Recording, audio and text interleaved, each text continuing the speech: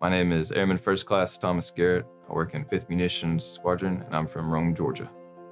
Uh, I joined the Air Force because I wanted to go back to college. I was working three jobs, and uh, unless in my town where I was from, unless you wanted to work in a mill or something, school was the only answer. And so I kind of wanted to take uh, advantage of the uh, tuition that the Air Force offered. Working all those jobs, I, I just didn't feel like I had done anything in my life that really mattered. So I needed to do something else to get out of that. Would I risk all that for a DUI? Absolutely not. Um, getting to the military has been a, a lifelong pursuit. Um, and with coronavirus and everything that happened, I probably wouldn't have a job back home that I had when I was still there.